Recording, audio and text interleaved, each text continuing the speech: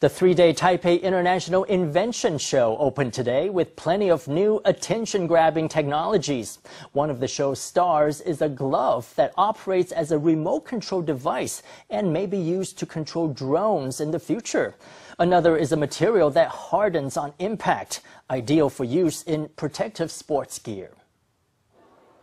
Developed by the Industrial Technology Research Institute, this black glove can interpret its wearer's hand gestures. Put it on and it serves as a remote control for model cars. In the future, it could be widely used for drones. The glove is very soft and won't affect your movements. When you want a drone to photograph something, all we have to do is make a single gesture to control its position.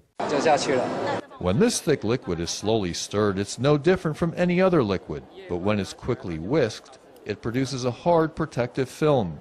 It's actually a high impact resistant material that gets harder when it's hit. ITRI intends to use it for protective sports gear and bulletproof vests.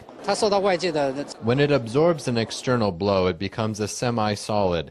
It is tested well in bulletproof vests, strengthening the vest's ability to block a bullet by 20 to 30 percent. ITRI has brought together several technologies to develop these new products and visitors to the Taipei International Invention Show and Technomart on its opening day were eager to give them a try and experience the latest innovations.